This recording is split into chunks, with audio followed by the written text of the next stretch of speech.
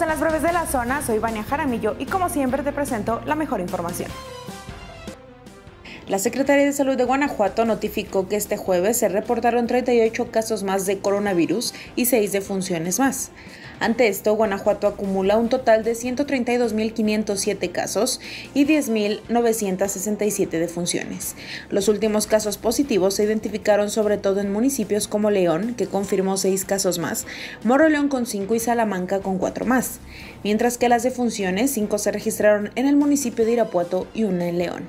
A nivel estatal quedan 384 casos activos y el número en investigación creció a 983, así como el de pacientes recuperados que ya ven 120.920.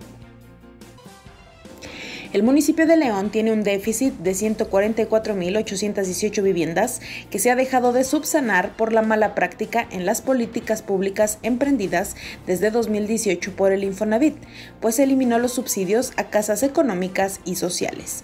Así lo externó Guillermo Reyes, consejero del Observatorio Ciudadano de León, durante la mesa de análisis León hacia un desarrollo urbano ordenado y equilibrado, refirió que aunque León tiene una población de 1.8 millones de habitantes en los últimos años, se ha caído la venta de viviendas. Dijo que el dato oficial de vulnerabilidad de vivienda no concuerda con la realidad de las viviendas irregulares en León, pues indica que existen 7.907. En León se reportan 150.860 viviendas en alquiler y los créditos por aplicar de Infonavit son 111.073 en la ciudad.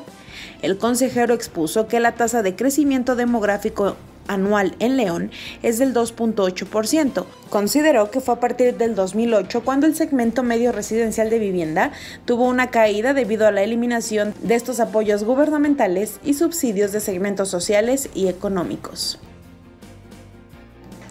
La familia de Simón Jorge Escobedo Sandoval pedirá a la Fiscalía General de Justicia de Guanajuato que se agoten todas las investigaciones para esclarecer la muerte del joven. Así lo señaló Jerón Escobedo, tío de Simón Jorge, joven de 31 años, originario de Monterrey, que murió presuntamente atropellado el sábado pasado en la colonia Villas de Barceló, segunda sección.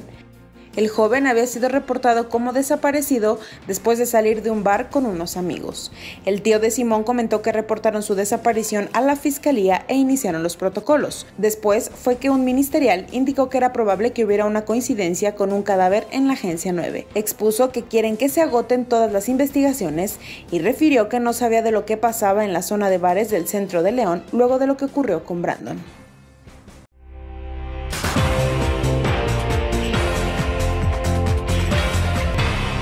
Checa todos los detalles de la información en nuestro portal. Puedes hacerlo también a través de todas nuestras redes sociales. Y por supuesto, mañana Carmen Martínez tiene para ti mucha más información.